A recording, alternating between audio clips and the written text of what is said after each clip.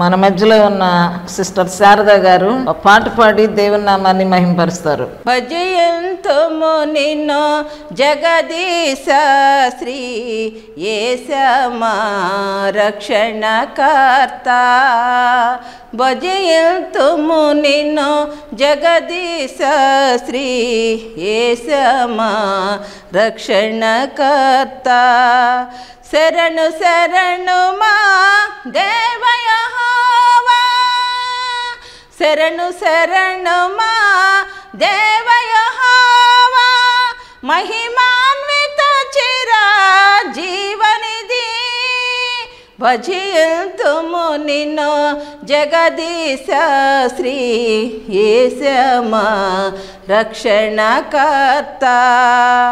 విమల స్వరూపులు దూతగణములు చూడగలేని తేజోనిదివే విమల శరూబులు దూతగణంబులు చూడగలేని తేజోనిదివే మాయుగములకై సిలువమ్రానుపై దీనుడవై మరణించితివే. శరణు శరణు మా దేవయహోవా శరణు శరణు మా దేవయోహోవా మహిమాన్విత చిర జీవనిధి భజింతుము నిన్ను జగదీశ శ్రీ ఏసమా రక్షణకర్త. ప్రభనేసు క్రీస్తు నామంలో ఉదయకాల సమయంలో మీ అందరికీ ప్రభు పెరటి వందనాలు. గత వారం. మరి క్రీస్తు ప్రభు తన సంఘాన్ని ఎలా స్థాపించారు? ఆయన భూమి మీద నాది అనేటువంటి దానిని ఏదైనా స్థాపించుకున్నారా? ఒక కట్టడం కానీ ఒక వస్తువులు కొనుక్కోవటం కానీ తనకంటూ ఏదీ లేని ఈ యొక్క స్థితిలో యేసుక్రీస్తు జీవితకాలం అంతటిలో కూడా ఆయన పాపంలో నశించిపోతున్న అనేకులను రక్షించి సమూహముగా ఉన్న అనేకులను తన సంఘముగా ఆయన స్థాపించుకున్నాడు. సత్యశివార్త బోధించి సత్యవాక్యాన్ని సరిగా ఉపదేశించి పన్నెండు మంది శిష్యులను చక్కగా ఆయన ఏర్పాటు చేసుకొని అందులో పేతురు గారి ప్రసంగం ద్వారా మొ- మొదటి పెంతకొస్తు దినాన మూడు వేల మంది సంఘముగా మార్పు చెందటం ఈ పన్నెండు మందితో కూడా మూడు వేల మందిని ఆ సంఘములోనికి చేర్చటం. మరి ఆ సంఘము నానాటికి క్షేమాభివృద్ధి నుండి ప్రభు కొరకు నిలబడటం ఆయన నాది అన్నది ఆ ఒక్క సంఘం మాత్రమే. ప్రాణం పెట్టి రక్తమిచ్చి కొనుక్కున్నాడు కనుక ఆయన ఆ ఒకే ఒక్క మరి పనిని నా సంఘము అని ఆయన పదే పదే సార్లు ఆయన గట్టిగా వక్కాణించి చెప్తున్నాడు. ఇంకెవరో కూడా సంఘము కొరకు ప్రాణం పెట్టలేదండి. మరి సంఘమును స్థాపించేటువంటి హక్కు మరి ఆ దినాల్లో ఈ దినాల్లో కూడా ఎవరికి లేదు. లేఖనాలను బట్టి అయితే మనము ఒకే ఒక క్రీస్తు ప్రభు మన కొరకు ప్రాణమిచ్చి మనలను సంపాదించుకొని ఇది నా సంఘము అని చెప్పారు కనుక మరి ఆయన ఆ సంఘము కొరకు ఆయన చేసిన త్యాగములో మనందరము కూడా ఈ దినాన సురక్షితంగా ఉన్నాం. అయితే ఆ యొక్క అంశాన్ని మన గత ఆదివారం ధ్యానం చేసుకున్నాం కనుక చిన్న ప్రార్థన చేసుకుని ఈ దినాన మరొక అంశాన్ని మనం ధ్యానం చేసుకుందాం. మా పరలోకపు తండ్రి పరిశుద్ధుడా నీ పరిశుద్ధమైన శ్రేష్టమైన నామాన్ని బట్టి మీకు కొందనాలు ఈ ఉదయకాల సమయంలో ప్రభువాని లేఖన భాగాల్లో నుండి మేము ఒక అంశాన్ని నేర్చుకోబోతూ ఉండగా తగిన జ్ఞానం ఇచ్చి ప్రభువా వినుచున్న మీ బిడ్డలను కూడా గ్రహింపగలిగిన మనసునిచ్చి మా తండ్రి ప్రకటించబడిన సువార్త అందరి హృదయాల్లో ఫలించినట్లుగా సహాయం చేయమని. ప్రతి గృహంలో ఇంటూ ఉన్న బిడ్డలను మీరు దీవించి సహాయం చేయమని. ఈ దీవెనలు వేస్తున్నాము అడిగి వేడుకొంచున్నాము తండ్రి. ఆమెన్. మరొకసారి ప్రభు నామంలో అందరికీ వందనాలండి. ఈ దినాన మనం ఏ వ్యక్తిని ఏ కుటుంబాన్ని చూసినా కూడా ప్రతి ఒక్కరూ కూడా ఏదో ఒక సమస్యలతో సతమతమవుతున్నట్టుగా మనందరికీ తెలుసు. అది ఆత్మ సంబంధమైనదే కావచ్చు ఆర్థిక పరమైనదే కావచ్చు అది కుటుంబ సమస్యే కావచ్చు లేదా ఒక కలవరానికి సంబంధించిన మరొక విషయం ఏదైనా కావచ్చు. కానీ సతమతమవుతున్న ఈ దినాల్లో మరి వీటన్నిటికీ జవాబు ఎవరు? పరిష్కారం ఎవరు? అని మనం ఆలోచన చేసినట్లయితే మరి ఏసే జవాబు అని మనం జ్ఞాపకం చేసుకోవాలి. ఈ దినాంశం పేరు ఏసే జవాబు. అయితే మార్క్స్ వార్త రెండవ అధ్యాయము మొదటి వచనం నుండి పన్నెండు వచనాల వరకు మనం చదివినట్లయితే మరి క్రీస్తు వారి జీవితంలో ఎలాంటి సంఘటనలు ఎదురైనాయో ఆయన ఎలాంటి గొప్ప కార్యాలు చేశారో రెండవ అధ్యాయము మొదటి వచనంలోనే మనకు ఒక వ్యక్తి కనబడతాడు. ఒక రోగి కనబడతాడు. నాలుగు ఐదు వచనాల వరకు చదివితే ఆ రోగి యొక్క స్టోరీ అంతా మనకు అక్కడ అర్థమవుతూ ఉంటుందన్నమాట. ఆయన కొన్ని దినాలైన పిమ్మట కపెర్నహూముకు వచ్చాడు. ఆయన ఒక ఇంట ఉన్నాడని విని అనేకులు ఆ ఇంటికి కూడి వచ్చినట్లుగా మనం చూస్తాం. కనుక ఆయన వచ్చాడు అనేటువంటి విషయం. వారి ద్వారా వారి ద్వారా వారి ద్వారా ఆ నోట ఆ నోట ఆ నోట అందరికీ కూడా విసిదమైపోయింది ప్రతి వారు కూడా ఒకరి నుంచి ఒకరికి ఆ సమాచారాన్ని చేరవేసుకొని ఆయన ఉన్న ఇంటి దగ్గరకు ప్రజలు అనేక మంది చేరి వచ్చినట్లుగా మనకి వచనాలు తెలియచేస్తూ ఉన్నాయి. అయితే ఇల్లంతా నిండిపోయింది.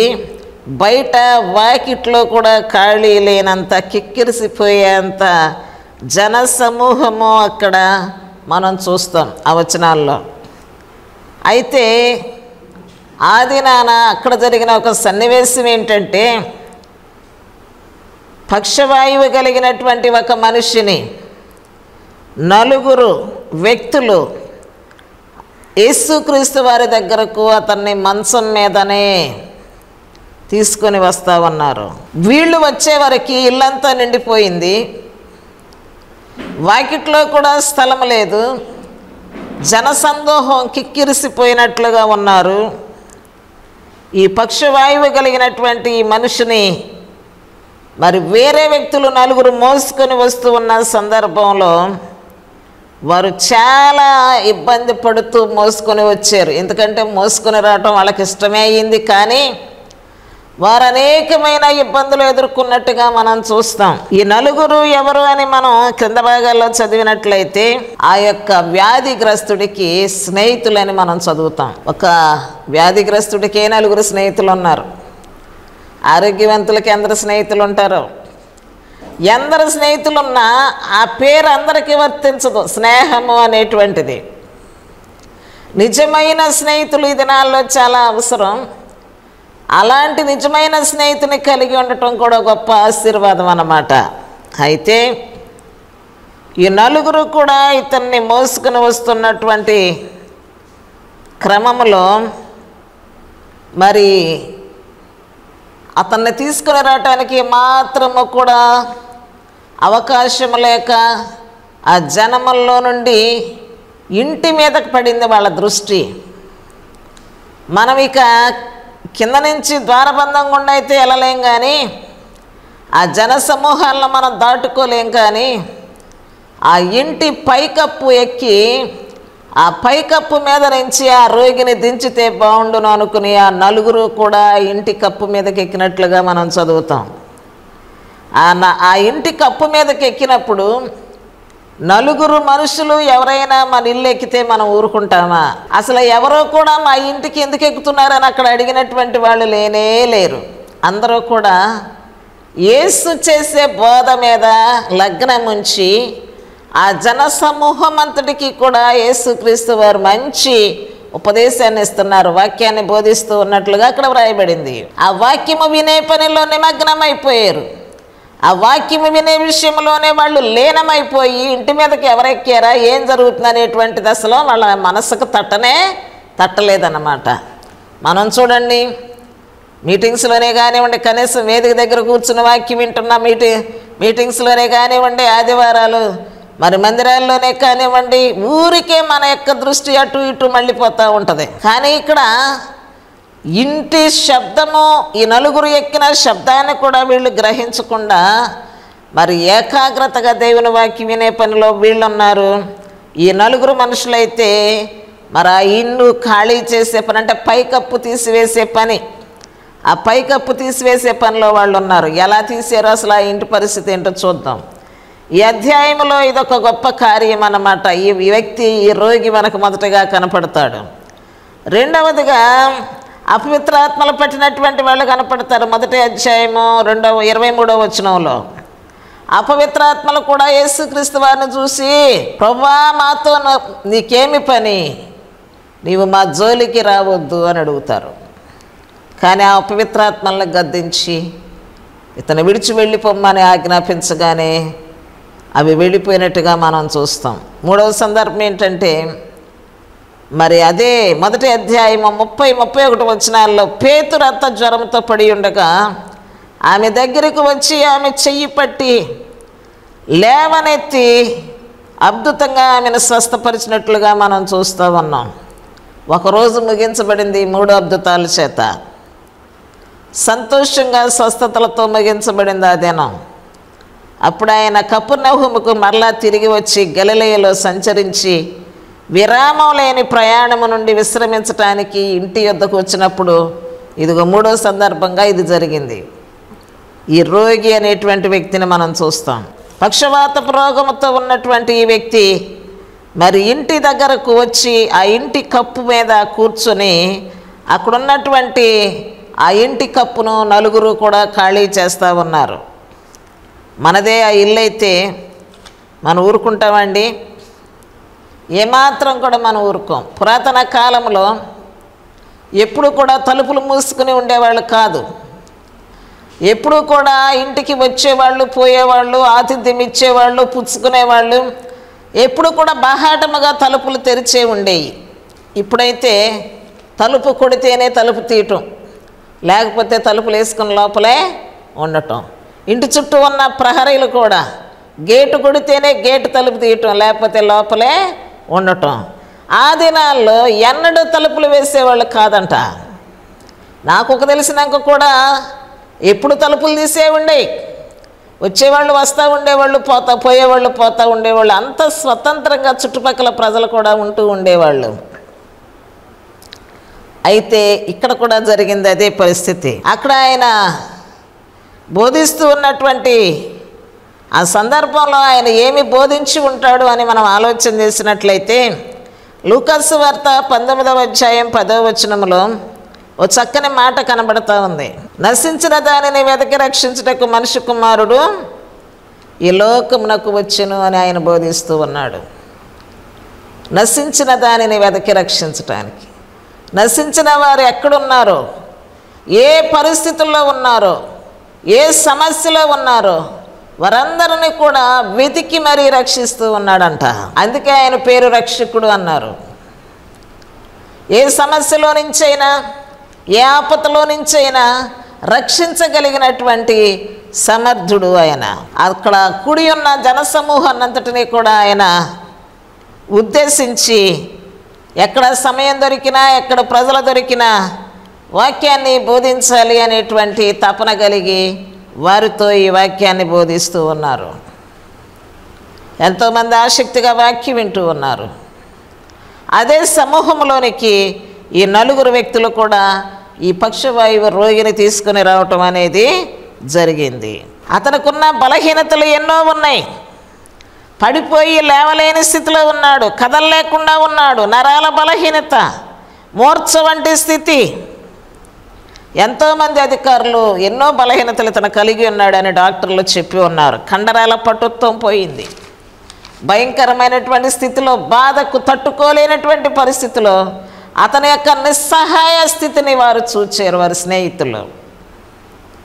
ఎన్నో తిప్పలు పడుతూ ఉన్నటువంటి సందర్భాలు వాళ్ళ కళ్ళతో చూశారు.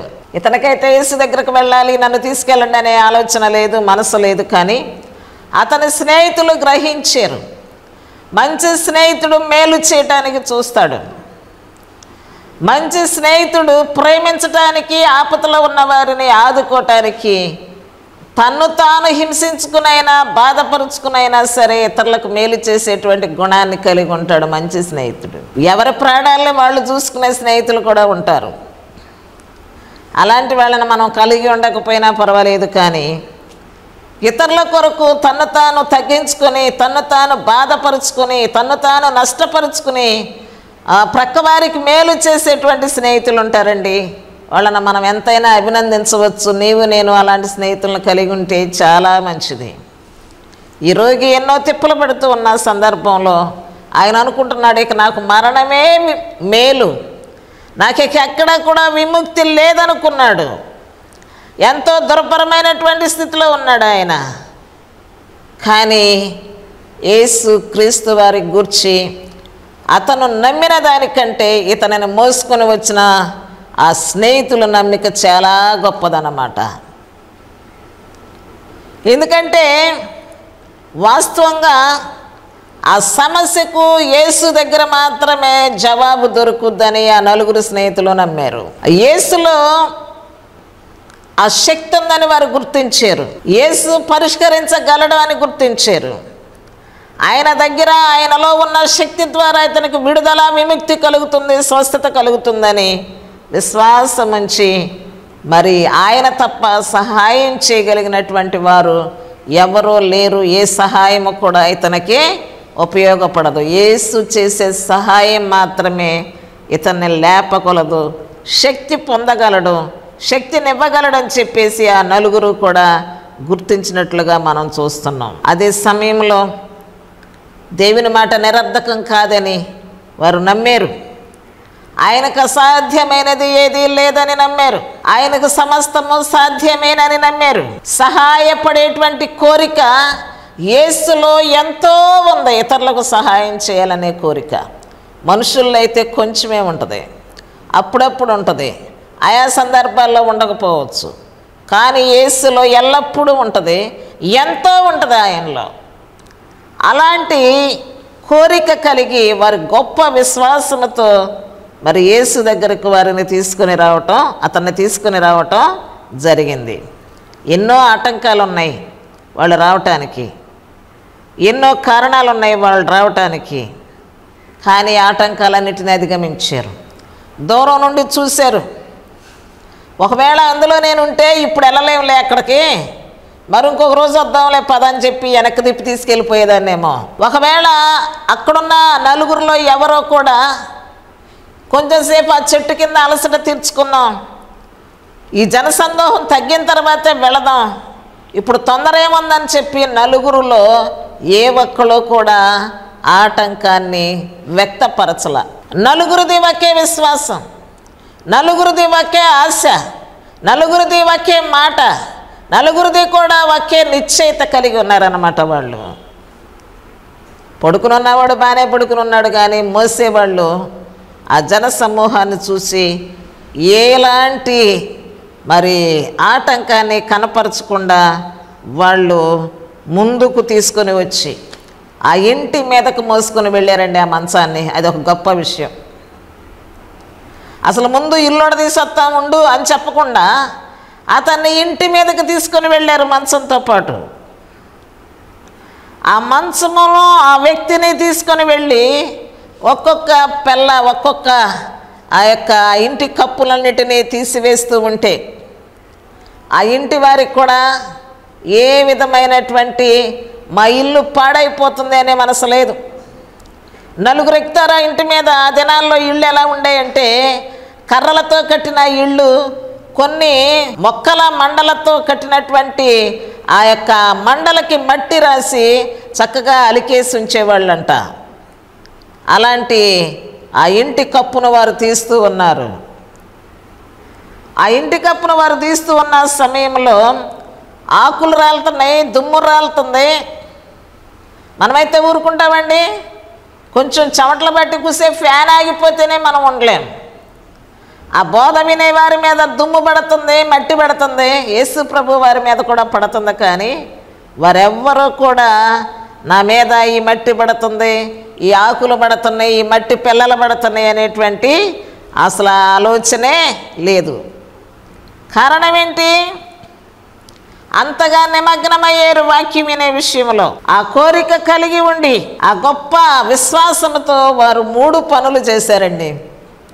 ఏంటంటే ఆ మూడు పనులు కూడా కష్టమైనా సరే జరిగించి తన స్నేహితుని ఇంటి కప్పు పైకి తెచ్చారు ఒకటి. ఇంటి కప్పు మీదకు మోసుకొని రావటం ఒకటి. కష్టమైనా సరే ఆ పక్కింటి మీదగానో ఏదో ఒక విధంగా కష్టతరమైన సరే ఆ కార్యాన్ని జరిగించారు. ఇంటి మీదకి ఎక్కి ఆ యొక్క రోగిని కూడా మంచముతో పాటు ఇంటి మీదకి మోసుకొని వెళ్ళటం. రెండవ విషయం ఏంటంటే వారు ఎదురు చూసిన దాన్ని వారు చేశారు. ఎందుకంటే దూరం నుండి ఇంటిని చూశారు ఇల్లు ఎక్కాలనుకున్నారు ఎక్కేశారు. ఆ ఇంటి కప్పు వారు విప్పేశారు పూర్తిగా. ఇక ఆ ఇంటి కప్పు మరలా ఎలా కప్పాలి ఏంటనేటువంటి విధానాన్ని వారు ఏమాత్రం కూడా ఆలోచించకుండా మరి ముందు ముందుగానే వారు తలలు పెట్టి చూస్తున్నారు లోపలికి ఈ యొక్క రోగిని దించడానికి ఏమైనా ఉందా అంటే యేసుప్రభు వారు అప్పుడు తలపైకి ఎత్తి చూశారు. నాలుగు తలకాయలు కనపడుతున్నాయి. ఎనిమిది చేతులు కనపడుతున్నాయి. అంటే నలుగురు మనుషులు ఎక్కారు. వాళ్ళు పైనుండి కిందకు దిగాలి. దిగటానికే వారు నిశ్చయించుకున్నారు. ఆ కప్ అంతా విప్పేశారు. మూడవదిగా ఆ ఖర్చు ఒకవేళ ఆ కప్పు మా మళ్ళా వాళ్ళే కప్పాలి. ఆ ఖర్చును కూడా భరించడానికి వాళ్ళే సిద్ధపడ్డారు. ఎన్ని ఖర్చు ఎంత ఖర్చు అయినా ఒకవేళ మా ఇంటి మీదకి ఎందుకు ఎక్కారని ఎవరైనా గొడవ చేసినా ఎలాంటి నష్టం వచ్చినా ఆ పని నిమిత్తం ఆ యొక్క రోగిని లోపలకు దించటం జరిగింది. ఎవరైనా సరే ఇంత సాహసం చేసి ఆ మనుషుని ఏసుక్రీస్తు ఎదట పెట్టారు. ఈ దినాల్లో మనం ఎవరినైనా క్రీస్తు దగ్గరకు నడిపించాలి అంటే ఒకసారి అయ్యా యేసు ప్రభుని నమ్మండి వాక్యాన్ని వినండి అని మనం చెప్తూ ఉంటాం. వాళ్ళు ఒకవేళ మేము వినమమ్మా మాకు ఇష్టం లేదు అన్నారనుకోండి మనమేమనుకుంటాం? మన పని అయిపోయింది కాబట్టి మనం చెప్పేసాం కాబట్టి ఇక చెప్పకపోయినా పర్వాలేదు అనుకుంటాం కానీ ఎన్ని సంవత్సరాల నుంచి ఆ రోగి ఆ వ్యాధితో ఉన్నాడో అయినా కూడా లెక్క చేయకుండా అయినా కూడా రిస్క్ అయినా సరే వాళ్ళు ఇష్టపడి మోసుకుంటూ వచ్చారు. ఒక రోగిని మోయటువంటి సామాన్యమైన సంగతి అండి ఆ మోసిన మనిషిని ఇంటి వరకు తీసుకొని వచ్చి ఇంటి కప్పు మీదకు తీసుకొని వెళ్ళటం మరొక గొప్ప విశేషం. అక్కడ నుండి ఆ పైకప్పంతా అంతా ఖాళీ చేయటం కూడా గొప్ప పని. ఆ పై నుండి కిందకు మళ్ళీ ఆ రోగిని సురక్షితంగా దించారు. ఇందులో ఖర్చులు ఉన్నాయి ఇందులో ఇబ్బందులు ఉన్నాయి ఇందులో ఆటంకాలు ఉన్నాయి ఇందులో ఎంతో శ్రమ ఉంది. అయినా సరే ఆ శ్రమ అంతటినీ కూడా లెక్క చేయకుండా వాళ్ళు చేయాలి అనుకున్నటువంటి పనిని పూర్తిగా చేసి ఏసు ఎదుటకు ఆ యొక్క రోగిని దించారు. మరి యేసు వారు ఏం చేయాలి ఇప్పుడు? ఆయన పని ఆయన చేయాలి. ఆ నలుగురు స్నేహితుల పని నలుగురు చేశాడు కానీ పొడుకునుండ రోగి మాత్రం ఏం పని చేయట్లా? నాకు మరణమే శరణం అనుకుంటున్నాడు ఇక? నాకు విముక్తి లేదనుకుంటున్నాడు. నాకు స్వస్థత లేదనుకుంటున్నాడు. నేను ఎక్కడ తిప్పలు పడినా నాకు జవాబు దొరకదు అనుకుంటున్నాడు కానీ ఈ నలుగురు స్నేహితులు ఉన్నారు. నిన్నే కదండి ఆదివారం? Friendship day. ఎంతోమంది స్నేహితులు సెలబ్రేషన్ చేసుకుని ఉంటారు. ఒక మంచి స్నేహితుని కలిగి ఉండటం ఎంతో ఆశీర్వాదం. ఆత్మ సంబంధమైన స్నేహితులను కలిగి ఉండటం ఇంకా ఆశీర్వాదం. ప్రతి ఒక్కరూ పరిశీలించుకోవాలి నాకున్న స్నేహితుడు ఎలాంటి వాడు అని. ఈ నలుగురు స్నేహితులు ఒక రోగికి నలుగురు స్నేహితులు ఆశ్చర్యంగా ఉంది. రోగాలతో ఉన్నవారిని ఎవరూ పట్టించుకోరు ఆర్థిక ఇబ్బందులతో ఉన్నవారిని ఎవరూ పట్టించుకోరు ఇంకా అనేక రకాల సమస్యలతో ఉన్నవారిని ఎవరూ పట్టించుకోరు నేటి సమాజంలో.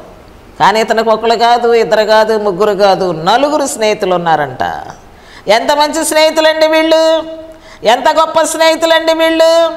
ఎంతో ఒక నిశ్చయిత కలిగి స్నేహితుని మేలు కోరినటువంటి వారన్నమాట వీరు.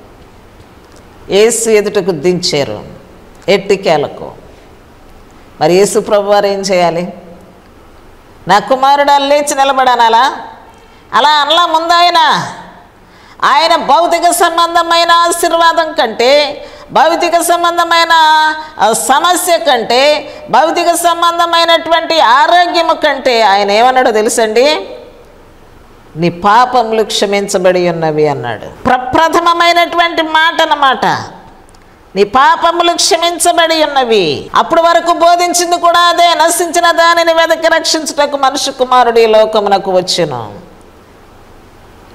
లుకాసు వార్త పంతొమ్మిదవ అధ్యాయం పదవ వచ్చును ఒకవేళ భౌతికంగా ఏదైనా స్వస్థత కావాలి అంటే భౌతిక సంబంధమైన స్వస్థతలు తీర్చుటకు ఏదో ఒక గొప్ప వ్యక్తిని పంపొచ్చు ఆయన. చాలామంది శాస్త్రవేత్తలు ఉన్నారు. మనస్తత్వ శాస్త్రవేత్తలు ఉన్నారు. అది మానసిక శాస్త్రవేత్తలు ఉన్నారు. భౌతికంగా కూడా మరి తత్వవేత్తలు కూడా ఎంతోమంది ఉన్నారు. కానీ ఏసే ఎందుకు మరి ఈ కార్యక్రమాలు చేయవలసి వచ్చిందంటే ఇది దేవుని యొక్క చిత్తము. తండ్రి అయిన దేవుడు ప్రభైన యేసుక్రీస్తు వారు పరలోకములో ఒక గొప్ప కిరీటముగా పరలోకములో ఒక ప్రకాశమానమైనటువంటి భూషణ కిరీటం యేసుక్రీస్తు వారిని వర్ణించటానికి. ఆ కిరీటాన్ని మన కోసం క్రిందకు పడదోసేసాడు. ఆ పరలోకములో ఉండే ఆ కిరీటాన్ని ఆ ప్రకాశమానమైనటువంటి ఆ భూషణ కిరీటమైన ఆయన ప్రియ కుమారుణ్ణి యేసుక్రీస్తు వారు క్రిందకు పడదోసేసాడు. అందుకే ఆయన ఈ లోకానికి వచ్చాడు. నశించిన దాన్ని వెదకి రక్షించుటకు మనుషు కుమారుడు ఈ లోకానికి వచ్చాడు. ఈ సమయంలో నీవు అంతరంగికంగా ఎలాంటి గాయమైనా కలిగి ఉన్నట్లయితే విముక్తి పొందాలంటే నీ పరిస్థితి ఏదైనా సరే దేవునితో ఒక సంబంధాన్ని బాంధవ్యం ఎలా ఉందో పరీక్ష చేసుకొని దేవునితో నీ సంబంధ బాంధవ్యాలను మరి దగ్గరగా చేసుకొని నువ్వు దేవుని సమీపించినట్లయితే కేవలం భౌతిక సంబంధమైన విషయాల మీదే మనస్సుంచకుండా నీ ఆధ్యాత్మిక జీవితంలో నీవు పాపిగా ఉన్నప్పుడు నువ్వు పాపములో నుండి విముక్తి పొందాలంటే పాపము నుండి విడిపించే మనుషులు ఎవ్వరు ఈ లోకంలో లేరు. పాపాలను క్షమించే వారెవ్వరు ఈ లోకంలో లేరు. పాపాలను క్షమించే అధికారము క్రీస్తు ప్రభుకొక్కలకు మాత్రమే ఉంది. మార్క్స్ వార్త రెండవ అధ్యాయము పదవ వచనములో. ఒక గొప్ప వచనం అన్నమాట ఇది. అయితే పాపములు క్షమించుటకు భూమి మీద మనుష్య కుమారునికి అధికారము కలదని మీరు తెలుసుకునండి. ఎంతోమంది శాస్త్రులు పరిచయులు దేవదూషణ చేస్తున్నారని అనేక విమర్శలు యేసు మీద రేకెత్తించినప్పటికీ కూడా సణిగినప్పటికీ కూడా గొడిగినప్పటికీ కూడా ఆయనను శోధించినప్పటికీ కూడా ఆయన మీద లోపల ఎన్నో కుట్రలు చేసినప్పటికీ కూడా ఆయన అందరి పాపములు క్షమించే అధికారం కలిగి ఉన్నాడు. ఈ దినాన నేను పాపిని అని నీవు గ్రహించినట్లయితే నీ పాపములు క్షమించడానికి నీ కొరకు ఈ ఉదయకాల సమయంలో ఎదురు చూస్తూ ఉన్నాడు. నీ హృదయాన్ని ఒకసారి పరీక్షించుకొని నువ్వింకా దేవునిని ఎరగకుండా పాపములోనే ఉంటే నీ పాపములు క్షమించడానికి ఇది నాన్న క్రీస్తు ప్రభువుని నీ రక్షకుడిగా అంగీకరించు నీవు రక్షించబడాలని నేను హృదయపూర్వకంగా కోరుకుంటూ ఉన్నాను నీ కుటుంబంలో ఉన్న ఏ ఒక్కరూ కూడా రక్షణ పొందకుండా ఉండటానికి లేదు అందరి పాపములు క్షమించబడాలి అందరి సమస్యలు తీర్చబడాలి అందరి పాపములకు వేసే జవాబు అందరి సమస్యలకు వేసే జవాబు అందరి కష్ట నష్టాలకు బాధలకు వేసే జవాబు ఇప్పటి వరకు నీవు ఎవరి మీదైనా ఆనుకుని ఉంటే ఒక్కసారి దేవుని మీద వైపు నీవు చూడాలి. ఒక్కసారి దేవుని నిన్ను స్నేహితుడిగా ఎంచుకో. భూలోకంలో నీకు మంచి స్నేహితులు ఉంటే మంచిదే కానీ నీ స్నేహితుడు నిజమైన స్నేహితుడు నిజమైన రక్షకుడు నిజమైన యేసు నీ కొరకు పరలోక మహాభాగ్యాన్ని విడిచిపెట్టి ఈ లోకములోనికి నిన్ను వెతుక్కుంటూ వచ్చాడు. నీవు నేను నశించుకోవటం ఆయనకి ఇష్టం లేదండి. ఎక్కువదే కాల సమయంలో ఇంకా నశించిన స్థితిలో ఉంటే చిన్న ప్రార్థన చేసుకున్నావండి నీవు యేసుక్రీస్తు నీ రక్షకుడిగా నీ నోటితో ఒప్పి ఒప్పుకొని నశించిన నన్ను రక్షించమని ఒక్కసారి నీ హృదయాన్ని ప్రభు వైపుకు త్రిప్పినట్లయితే నిన్ను రక్షించటానికి ఆయన ఒక్కడే అధికారము కలిగి ఉన్నాడు. ఇంకెవరికి అధికారం లేదండి. భూమి మీద ఆయన అధికారం కలిగి ఉన్నాడు. పరలోకంలో కూడా ఆయన అధికారం కలిగి ఉన్నాడు. ఈ రెండింటిని విడిచి నీవు నేను ఎక్కడికి వెళ్ళలేం. మనం ఎక్కడుంటే అక్కడ ఆయన మనతో ఉంటాడు. జ్ఞాపకం చేసుకున్న ఒకసారి చిన్న ప్రార్థన. మా పరలోకపు తండ్రి పరిశుద్ధుడా ఈ పరిశుద్ధమైన ఘనమైన నామాన్ని బట్టి మీకే వందనాలు స్థుతులు చెల్లిస్తూ ఉన్నాం. ఈ ఉదయకాల సమయంలో ప్రభువా ఏ గృహములైతే ఈ స్వార్థ ప్రకటన వింటూ ఉన్నారు వింటూ ఉన్న బిడ్డలందరినీ జ్ఞాపకం చేసుకుని వరే సమస్యలో ఉన్నా ఒకవేళ ఇంకనూ పాపముల్లోనే ఉండి నశించిపోతూ ఉన్నట్లయితే ప్రభా పాపం అనే సమస్యకు జవాబు మీరు దయచేయండి. క్షమాపణ దయచేయండి. వారి హృదయాలు నీ వైపు కేంద్రీకృతం కావటానికి సహాయం చేయమ? వారి హృదయాలు నీ వైపుకు మళ్ళించమని ప్రార్థన చేస్తూ ఉన్నాం. ప్రభా కుటుంబాల్లో ఉన్న. కుటుంబ యజమానులే కానీ ప్రభా యజమానురాలే కానీ బిడ్డలే కానీ ప్రభువా ప్రతి ఒక్కరూ కూడా నాయన వారి పాపములు క్షమించబడి నీ వైపుకు ఆకర్షించబడినట్లుగా సహాయం చేయమని. ఈ వర్తమానం వింటున్న ప్రతి బిడ్డను ఆశీర్వదించు. ప్రతి కుటుంబాన్ని ఆశీర్వదించు. భౌతికమైన ఆత్మ సంబంధమైన ఆశీర్వాదాలతో నింపి మహిం పొందుమని ఈ దీవెనలే ఇస్తున్నాము అడిగి వేడుకొనుచున్నాము తండ్రి. ఆమేన్. అందరికీ వందనాలండి. మరలా వచ్చే వారం కలుసుకుందాం. మీ అందరికీ వందనాలు.